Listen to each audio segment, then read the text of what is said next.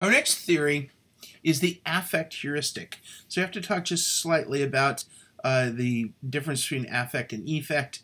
Uh, affect is generally the verb, effect is the noun. Affect is to influence something, to have influence over it.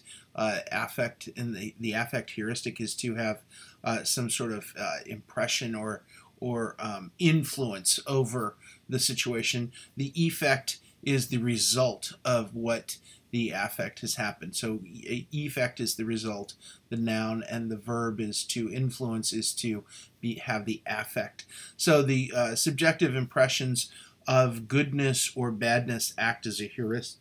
As a heuristic, um, they are a source of fast uh, perceptual judgment. Obviously, we know heuristics are a rule of thumb. So the affect heuristic is an impressionistic, um, influencing uh, example of uh, how we're influenced by rules of thumb. So it's the goodness or badness or the first impression, uh, often a fast perceptual judgment uh, that occurs quite often when we're making uh, judgments and determinations and making decisions uh, without really thinking through the situation. Now, this happens all the time in very small situations.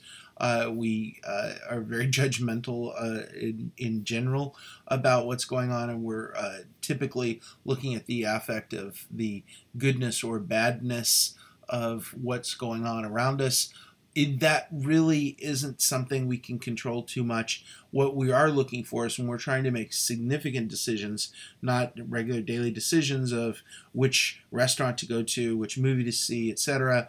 Uh, that obviously is going. We're going to have an emotional reaction to uh, everything from the the movie poster to the uh, restaurant menu to the people that are in the restaurant or how how it's uh, uh, laid out.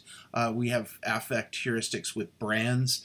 Uh, we see a shirt with a logo on it, and we have one feeling about one shirt and one feeling about another. We have affect heuristics with regard to cars, and some people love BMWs, the other people like Mercedes. Usually they don't both like, or they don't like both.